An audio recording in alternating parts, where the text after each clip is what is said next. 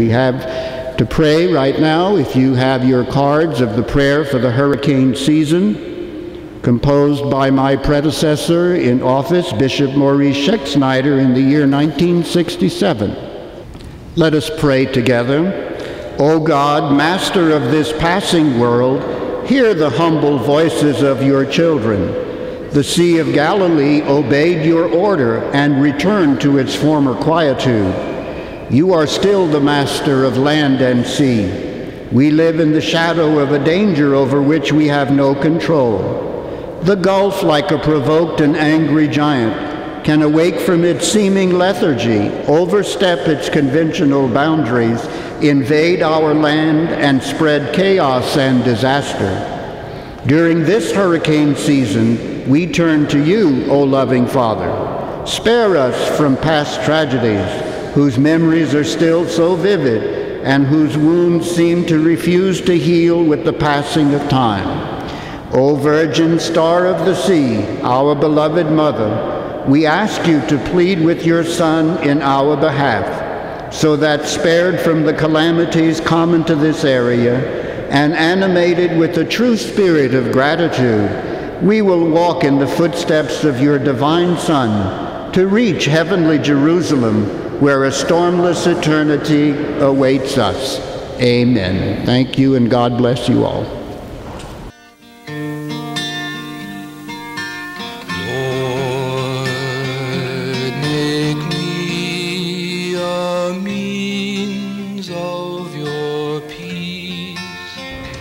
Good evening. On behalf of the Central Deanery, we welcome you to the Cathedral of St. John the Evangelist and tonight's Mass for Protection during hurricane and storm season. We gather this evening as a people of faith, turning to our Lord and placing ourselves in His care, particularly asking for His continued protection and shelter from hurricanes and other storms confident that He is our refuge and our strength. We also pray tonight for all those who have been impacted by storms of the past, both physical storms and also the turbulence in their daily lives. May God fill our hearts with His grace and His mercy, and may He comfort all those who are suffering or have experienced loss due to hurricanes, floods, and other natural disasters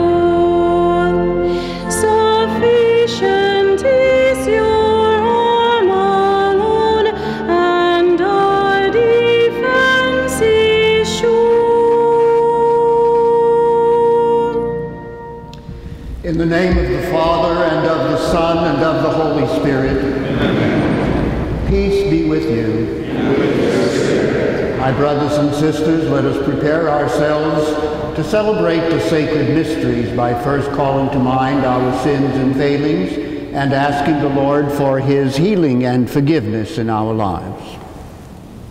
I confess to Almighty God and to you, my brothers and sisters, that I have greatly sinned in my thoughts and in my words, in what I have done and in what I have failed to do through my fault, through my fault, through my most grievous fault. Therefore I ask the Blessed Mary, ever Virgin, all the angels and saints, and you, my brothers and sisters, to pray for me to the Lord our God. May Almighty God have mercy on us, forgive us our sins, and bring us to everlasting life. Amen. Lord, have mercy. Christ, have mercy. Lord, have mercy. Let us pray. May the martyr St. Boniface be our advocate, O Lord, that we may firmly hold the faith he taught with his lips and sealed in his blood, and confidently profess it by our deeds. Through our Lord Jesus Christ, your Son, who lives and reigns with you in the unity of the Holy Spirit, one God, forever and ever. Amen. A reading from the Acts of the Apostles. Paul said, King Agrippa, I was not disobedient to the heavenly vision. On the contrary, first to those in Damascus and in Jerusalem, and throughout the whole country of Judea, and then to the Gentiles. I preached the need to repent and turn to God, and to do works giving evidence of repentance. That is why the Jews seized me when I was in the temple and tried to kill me.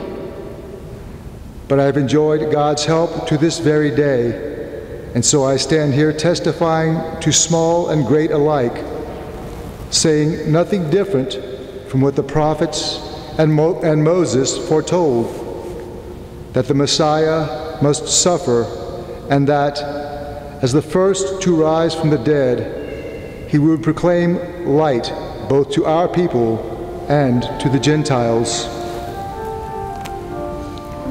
The word of the Lord.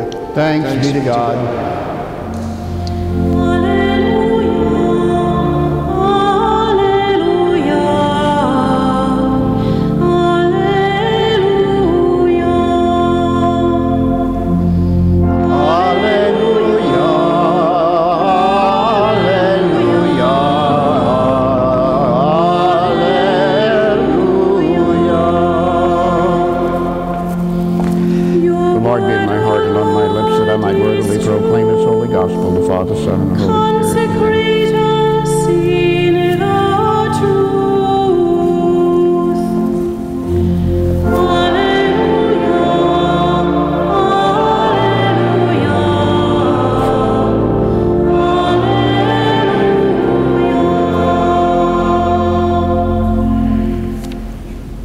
The Lord be with you.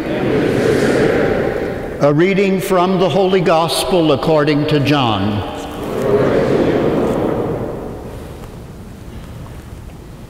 Jesus said, I am the good shepherd. A good shepherd lays down his life for the sheep. A hired man who is not a shepherd and whose sheep are not his own, sees a wolf coming and leaves the sheep and runs away. And the wolf catches and scatters them. This is because he works for pay and has no concern for the sheep. I am the good shepherd, and I know mine, and mine know me just as the Father knows me, and I know the Father. And I will lay down my life for the sheep. I have other sheep that do not belong to this fold. These also I must lead, and they will hear my voice. And there will be one flock and one shepherd. The Gospel of the Lord. Good afternoon, everybody, and welcome as we offer this Mass and our prayers today for divine protection from hurricanes and storms. Every year, this Mass is celebrated to ask our Lord to protect us from the storms that are common to our area of the United States. We also place ourselves under the protection of the Blessed Virgin Mary, patroness of our diocese, patroness of the Archdiocese of New Orleans under Our Lady of Prompt Succor. Remembering how the Lord in the Gospels calmed the seas when the apostles were afraid of the boat being swamped. We offer this Mass asking that we be protected during this hurricane season, which began on June the 1st of this year. Today, the Church also celebrates the feast of St. Boniface, St. Boniface died about the year 750 AD. He was a bishop and a missionary to Germany. In fact, he is the patron saint of Germany and holds the title of the Apostle of the Germans. St. Boniface was born in England and at a very young age entered into a monastery where he was later ordained a priest and then became a missionary to Germany and was named bishop and soon archbishop of the entire German country of that day and time. He set about unifying the church in Germany and also stamping out the remnants of paganism that had plagued many areas of that country. Soon he was captured and, along with 54 other missionaries, was martyred for the faith. And rather than stamping out the Catholic faith in Germany, the blood of the martyrs became the seed of the church, and the church began to flourish throughout all of Germany. He truly was the Good Shepherd who laid down his life for the sheep. Our Lord speaks about being the Good Shepherd in the Gospel today from St. John.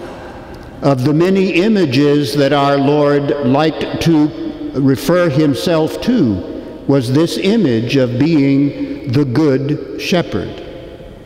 In fact, one of the earliest paintings in the 2,000 years of the church's history was found in one of the catacombs in Rome, going back to the first century AD. An image on the wall in the catacomb where the Christians celebrated Mass secretly. That image was of Jesus, the Good Shepherd, who carried the lost sheep on his shoulders back to the flock. Jesus compares himself to that in the gospel today, calling himself the Good Shepherd who lays down his life for the sheep. Now, today in the year 2019, we don't have too much of a reference point for being shepherds. But in our Lord's day and time, it was the livelihood of many people to have a flock of sheep. And very important to have a flock of sheep because it meant sustenance, food, and clothing for a family of a shepherd who had a flock of sheep. And so our Lord compares himself to the good shepherd who really cares about his sheep. The shepherd was vital to the sheep. The shepherd knew where all the grazing pastures were. The shepherd knew where all the watering spots were. The shepherd was there to protect his sheep if a wolf or some other wild beast came to carry them off. And so the worth of a good shepherd was very well understood in our Lord's day and time. And he talks about the hired shepherd who really doesn't own the sheep. And the sheep really don't belong to him, so he doesn't have a stake in taking care of the sheep. If a wild animal comes around, he's not going to put down his life to protect sheep that aren't his own. But our Lord says that as the good shepherd, which he is, he is prepared to even lay down his life for the sheep. The image is very important for all of us who belong to the flock of Christ, that we listen always to our true shepherd he knows where the watering spots are for us. He knows where the true food, where the green pastures are for us. He is there to protect us and to lay down his life as he did on the cross for all of us who belong to his flock. In another part of the Gospels, Jesus talks about the false shepherds who do not lead the sheep to grazing pastures and to watering holes. The false shepherds who don't care about the sheep, we should not listen to them, but we should listen to the good shepherd, to Jesus Christ himself. He it is who leads us to true and everlasting life. God bless you all in the name of the Father and of the Son and of the Holy Spirit. Amen. We have to pray right now. If you have your cards of the prayer for the hurricane season, composed by my predecessor in office, Bishop Maurice Schexnayder, in the year 1967. Let us pray together. O God, master of this passing world, hear the humble voices of your children the Sea of Galilee obeyed your order and returned to its former quietude. You are still the master of land and sea. We live in the shadow of a danger over which we have no control. The gulf, like a provoked and angry giant, can awake from its seeming lethargy, overstep its conventional boundaries, invade our land, and spread chaos and disaster. During this hurricane season, we turn to you, O loving Father. Spare us from past tragedies, whose memories are still so vivid and whose wounds seem to refuse to heal with the passing of time. O Virgin Star of the Sea, our beloved Mother, we ask you to plead with your Son in our behalf, so that spared from the calamities common to this area and animated with the true spirit of gratitude, we will walk in the footsteps of your divine Son to reach heavenly Jerusalem, where a stormless eternity awaits us. Amen. Thank you, and God bless you all. Let us stand as together we present all of our needs and petitions. That the Lord of nature will protect our coastlands and empower us to be good stewards of the environment. We pray to the Lord. Lord, hear our prayer that the Lord of nature will give new hope to those trying to rebuild their lives and new life to those who died in any natural disaster. We pray to the Lord. Lord, hear our prayer. God our Father, we ask you to hear these petitions we place before you and grant them through your Son, Jesus Christ, who lives and reigns with you in the unity of the Holy Spirit, one God forever and ever. Amen.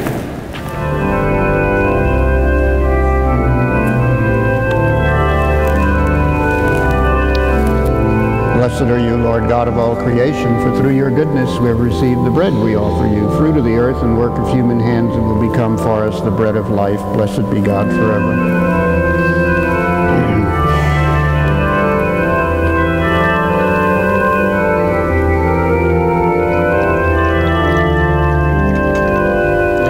By the mystery of this water and wine, may we come to share in the divinity of Christ, who humbled himself to share in our humanity.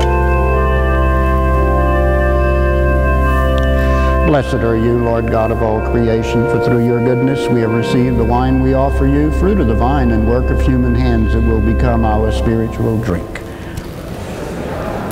With humble spirit and contrite heart may we be accepted by you, O Lord, and may our sacrifice in your sight this day be pleasing to you, Lord God. Wash me, O Lord, from my iniquity. Cleanse me from all my sins.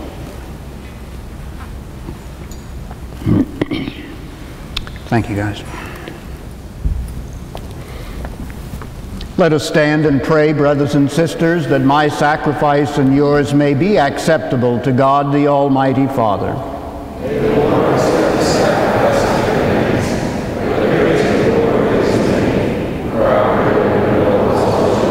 Receive, we pray, O Lord, the sacrifice of conciliation and praise which we offer to your majesty in commemoration of the blessed martyr Boniface, that it may lead us to obtain pardon and confirm us in perpetual thanksgiving. Through Christ our Lord. The Lord be with you. Lift up your hearts. Let us give thanks to the Lord our God. It is truly right and just our duty and our salvation always and everywhere to give you thanks, Lord, Holy Father, Almighty and eternal God, for the blood of your blessed martyr Boniface, poured out like Christ to glorify your name, shows forth your marvelous works, by which in our weakness you perfect your power, and on the feeble bestow strength to bear witness through Christ our Lord. And so, with the powers of heaven, we worship you constantly on earth, and before your majesty without end we acclaim.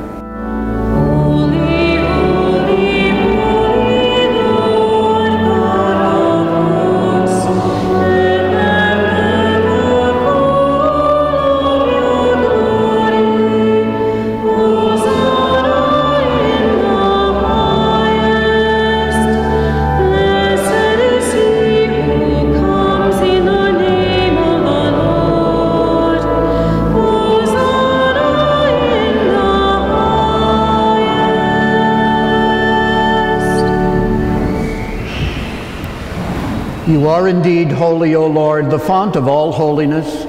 Make holy, therefore, these gifts, we pray, by sending down your Spirit upon them like the dewfall, so that they may become for us the body and blood of our Lord Jesus Christ. At the time he was betrayed and entered willingly into his passion, he took bread and giving thanks broke it and gave it to his disciples, saying, Take this, all of you, and eat of it. For this is my body, which will be given up for you.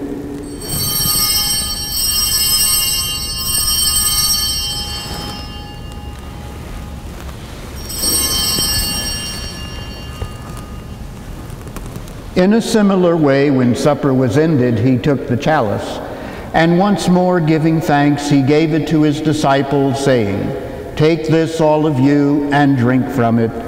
For this is the chalice of my blood, the blood of the new and eternal covenant, which will be poured out for you and for many, for the forgiveness of sins.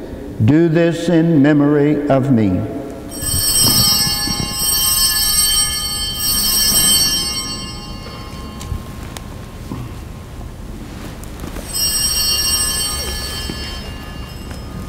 The mystery of faith.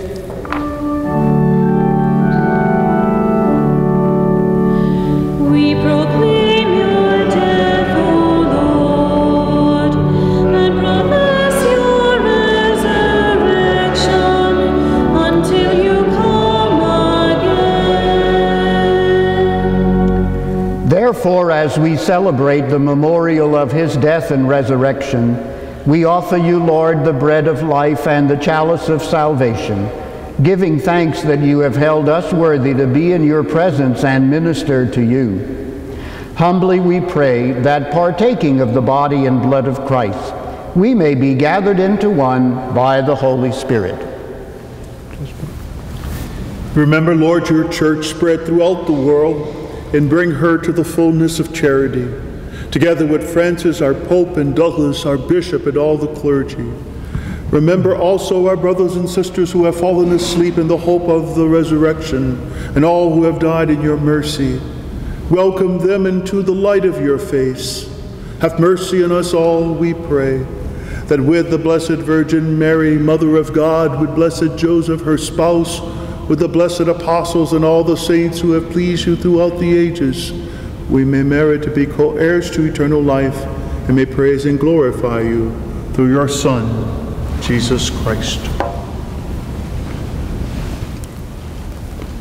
Through him and with him and in him, O God Almighty Father, in the unity of the Holy Spirit, all glory and honor is yours forever and ever.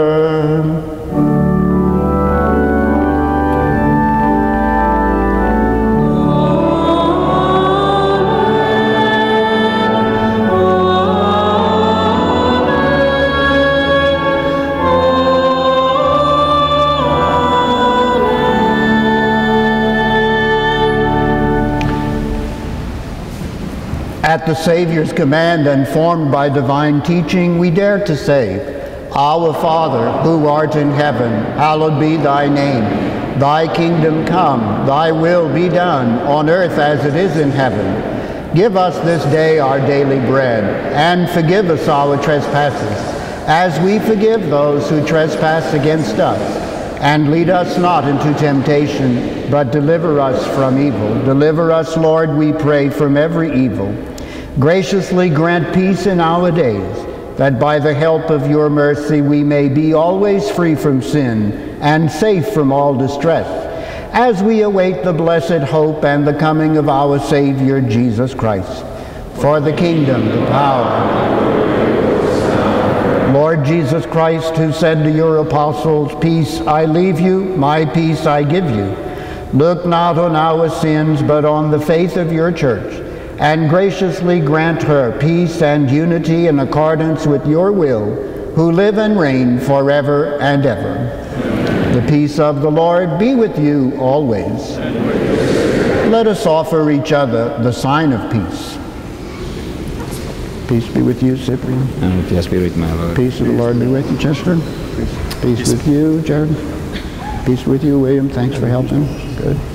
Peace.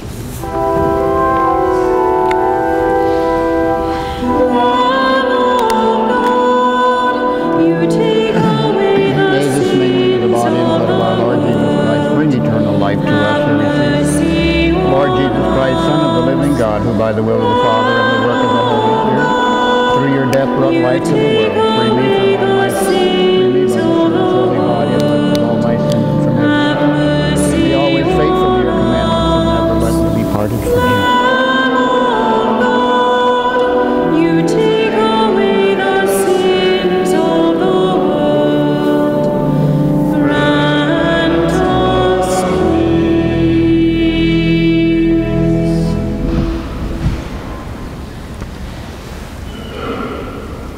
Behold the Lamb of God, behold him who takes away the sins of the world. Blessed are those called to the supper of the Lamb.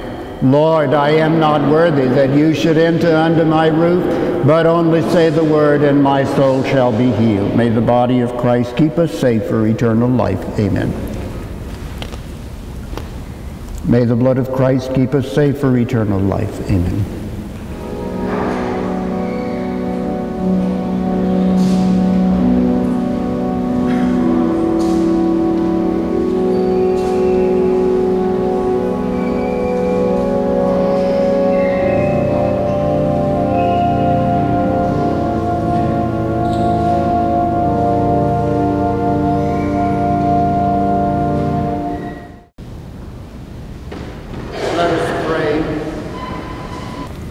We have received your heavenly gifts, rejoicing at this feast day, O Lord. Grant, we pray, that we who in this divine banquet proclaim the death of your Son may merit to be partakers with the holy martyrs in his resurrection and his glory, who lives and reigns forever and ever. The Lord be with you. May Almighty God bless you, the Father, and the Son, and the Holy Spirit. Go forth, the Mass is ended.